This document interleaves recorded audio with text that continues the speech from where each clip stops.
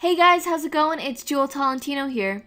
So in this video, I'm going to be showing you guys how we render and produce our videos for our YouTube channel.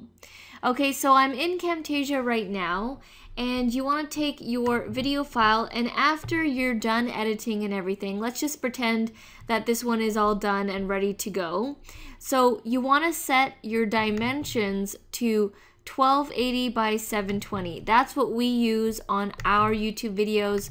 You guys can check out actually this video and any other of our tutorial videos.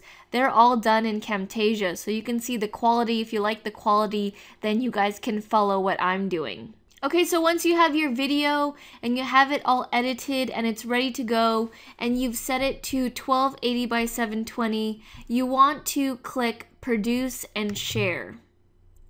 From here, what I do is I click this and I go down to MP4 only up to 720p. Then I click next. Then you want to do a name, so test video, name it whatever you want. Click finish. Now it's going to start the rendering process. So I'm going to pause the video right here and I'll be back when it ends.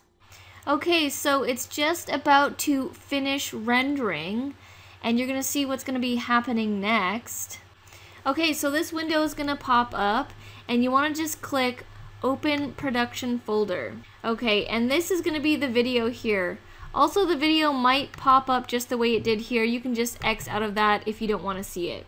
So this is what you want right here. I delete these two files right here. So what I'm gonna do is I click out of this I click out of this. Do I want to save these changes? Not right now for this video. And then I drag this over to the screen. That's my final video. And then I delete these two. And then I click X.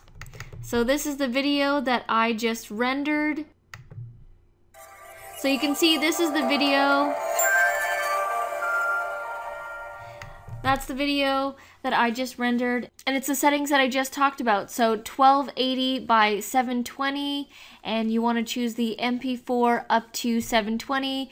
These are the settings that we use for all of our YouTube videos except for the dream driven episodes.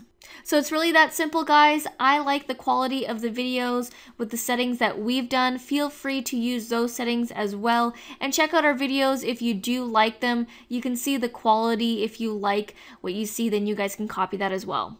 Alright guys, thank you so much for watching. If you want to see more Camtasia tutorials, feel free to head over to the description down below. I'm also going to have some videos pop up on the screen. Click in the description below in the playlists and you'll get more Camtasia Studio 8 tutorials. Alright guys, well if we've provided you with any value, please let us know by giving us a like, a comment, or subscribe. All that would be very much appreciated. Alright guys, I'll see you in the next video.